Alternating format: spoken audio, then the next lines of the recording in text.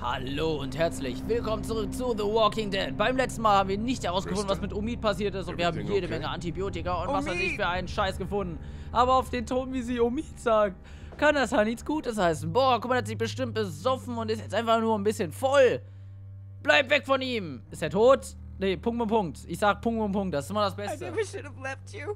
I'm so sorry. Ach, Christy, dir geht's doch bestimmt nur gut. Oh.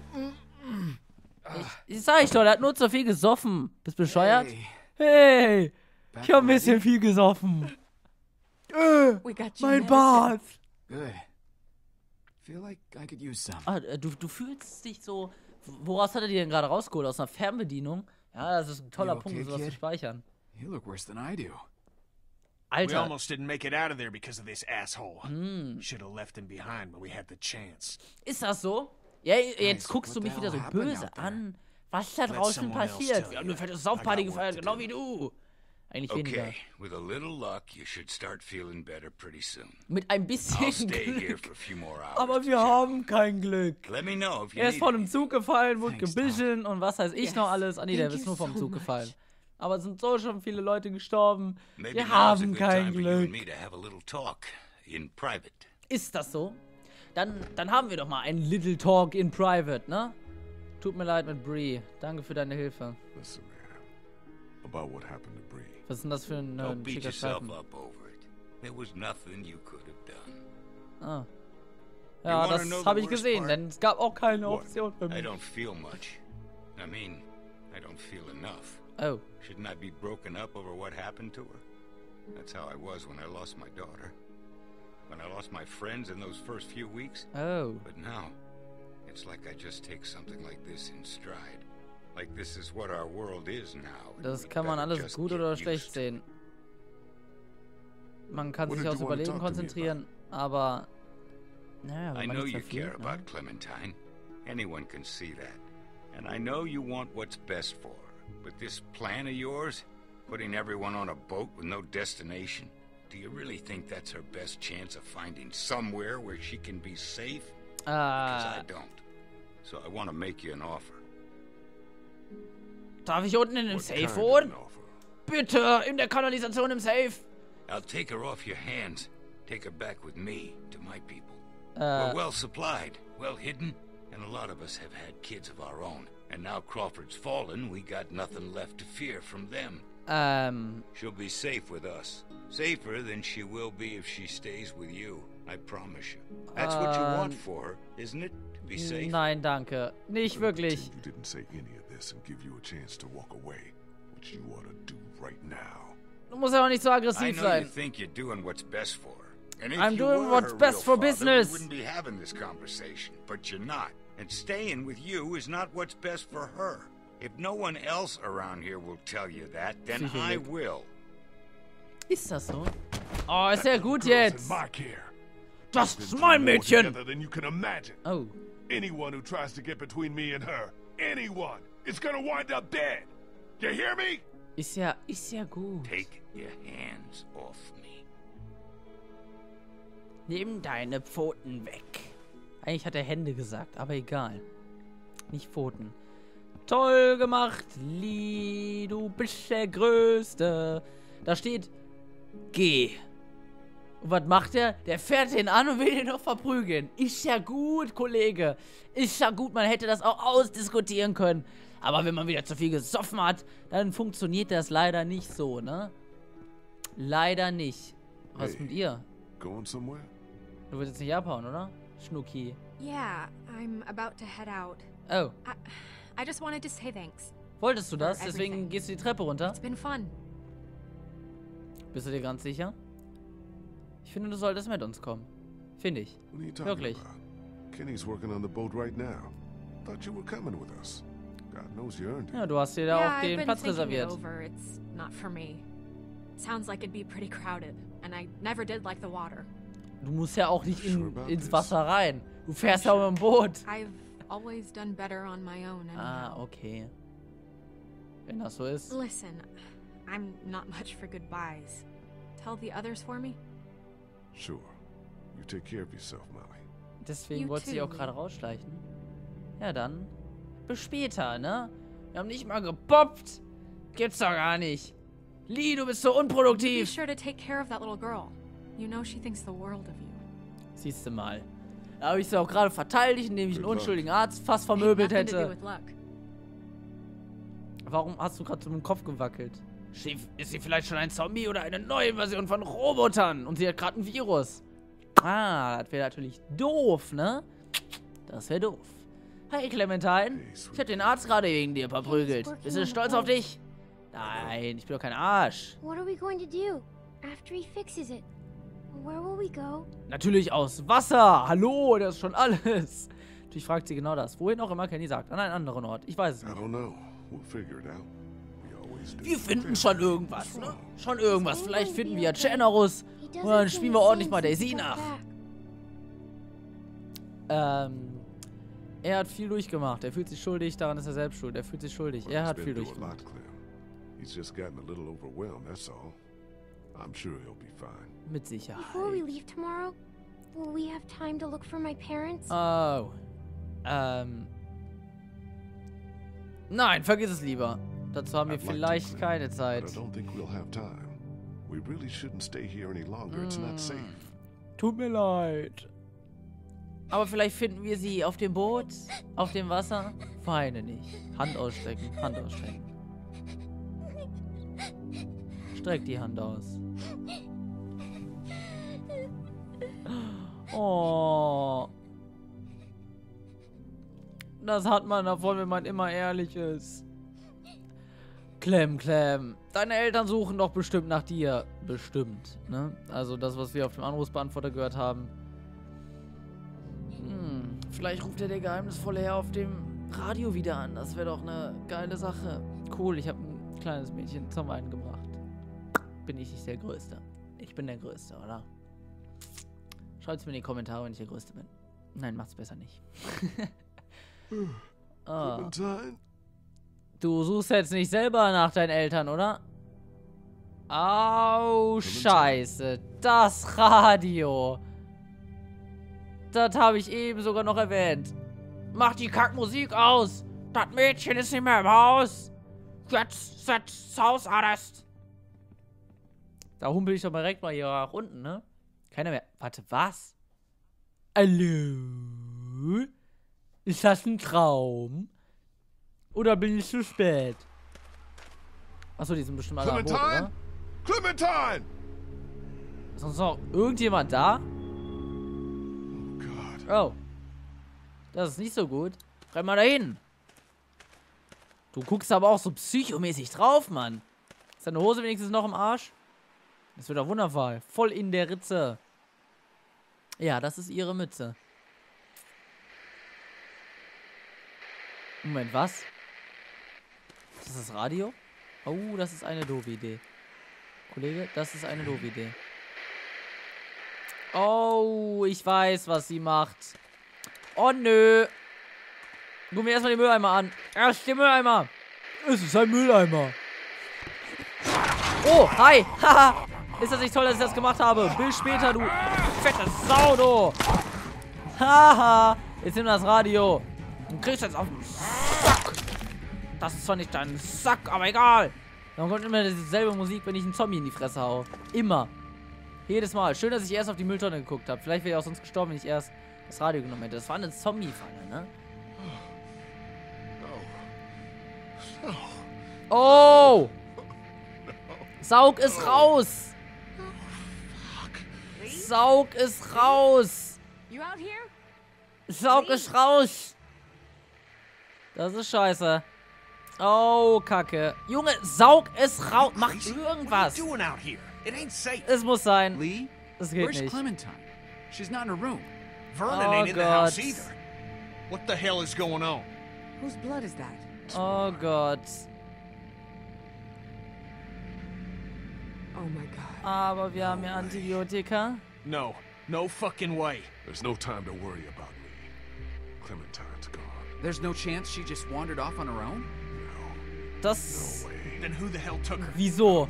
Das könnte doch sein, jetzt wo sie irgendwie nach ihren Eltern guckt oder das Radio hat sie wieder dazu verleitet oder der Typ am. Radio. Ganz bestimmt ist das der Typ im Radio gewesen, die fette Sau. Und ich habe meine Lichtquelle gerade vom Tisch geballert. Statt nicht geil. Was ich brauche, vielleicht Hilfe, um sie zu finden. Äh, ich weiß nicht, was ich I tun don't know soll. what to do here. I don't even know if I can ask for your help. Lee, we're a team. That's how we've made it this far.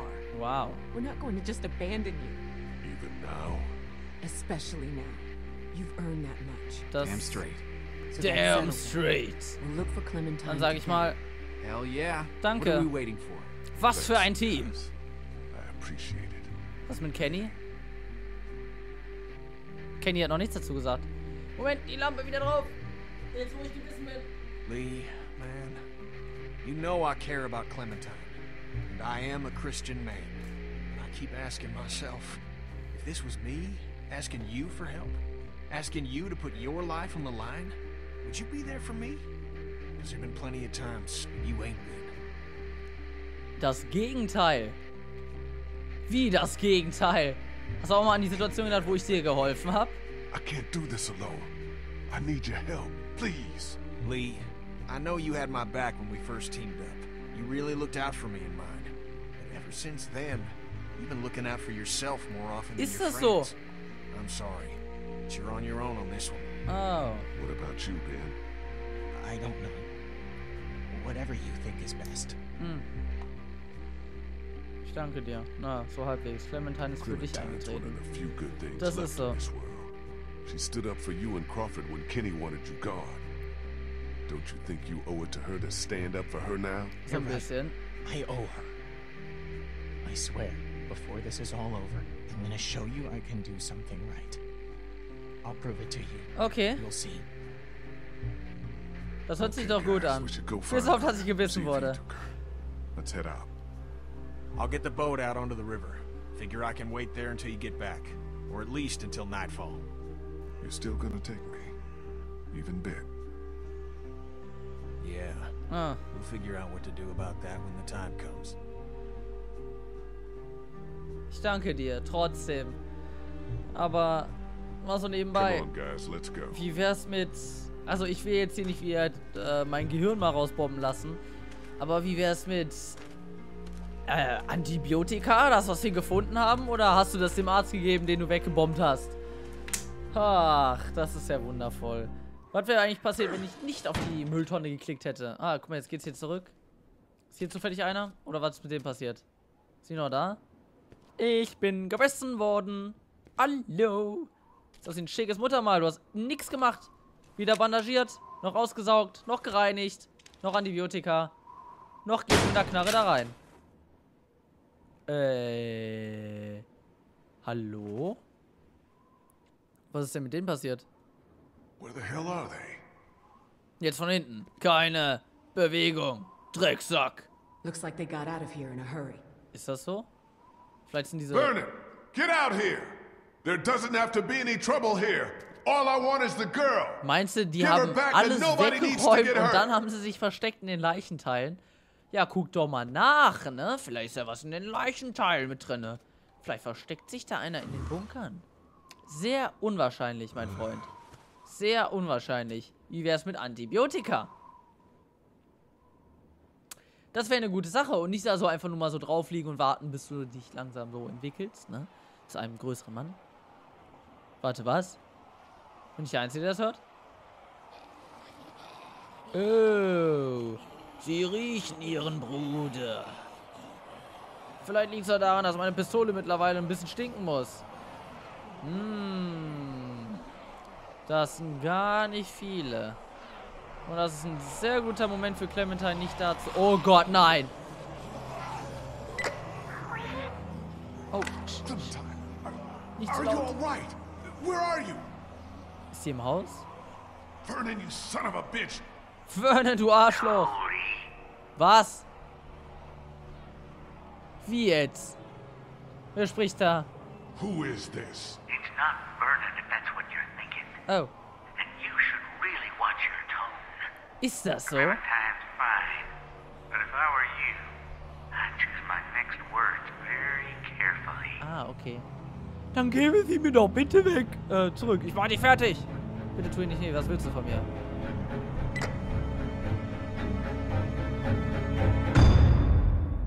Warum guckt ihr so? Oh, The Walking Dead, Episode, die, äh, Episode, Episode, die Zeit wird knapp. Heilige Kacke.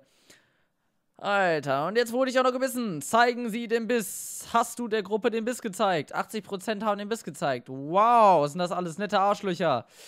Wir sind doch alles so richtig nette Arschlöcher, ne? Der Junge auf dem Dachboden. Du und 74% der Spieler haben ihn umgebracht. 74 Prozent. 74, nicht 60. 74 Prozent der Leute sind Arschlöcher. Du hast den Jungen auf dem Dachboden umgebracht. Was? Hast du den Jungen auf dem Dachboden? Achso, okay. Äh, Hippokratischer Eid. Äh, hast du Vernon belogen und bedroht? Du und 66 Prozent, äh, 66 der Spieler waren rational und aufrichtig. Viel lobenswert von mir. Allein zu Hause hast du Clementine mitgenommen. Du und 73% der Spieler haben sie mitgenommen. Wow, da habe ich ja sehr originell, Entschuldigung, sehr originelle Entscheidungen getroffen. Wem die Stunde schlägt, der ist hinüber. Hast du Ben in den Tod stürzen lassen? 44 nee, 34% haben den in den Tod stürzen lassen. Ihr habt sie auch am Gockel, ne? mein Gott. Immerhin, 66% ist eine tolle Zahl. 66% der Spieler haben ihn aufs Dach gezogen. Wieso auch nicht? Lässt ihn doch nicht einfach da runterfallen. Was für Arschlöcher sind wir denn? Keine! Wer begleitet Lee? Warte mal, was? Ach so, ah! Das ist, äh.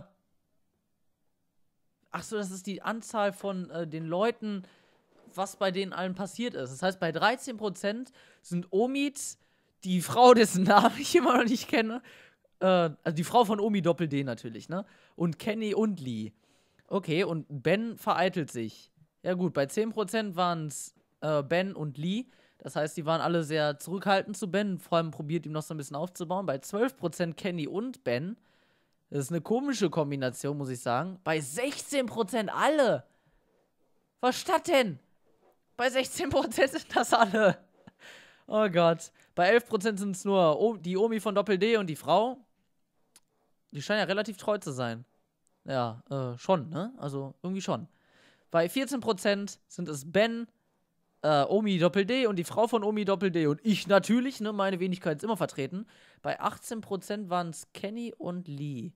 Das heißt, eine ganze Menge bauen dann da wirklich mega extrem auf die Freundschaft. Aber ich probiere das ehrlich zu spielen.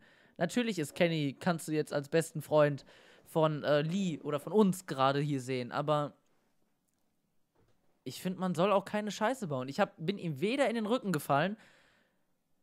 Das einzige Mal, woran ich mich erinnern kann, war am Anfang bei dieser Medikamentengedönse-Ausgabe, glaube ich. Da war irgendwas, also jedes Mal, wenn ihm was nicht gepasst hat, stand bei mir irgendwie, was weiß ich, wir machen das und das und dann stand das da so beschrieben in dem Textgedönse, als ob das so ein Mittelweg ist, ne? Und man sagt er, nö, Kenny, fick dich, das machen wir nicht, wir machen das und das. Dann sagt er, du bist ein Arsch.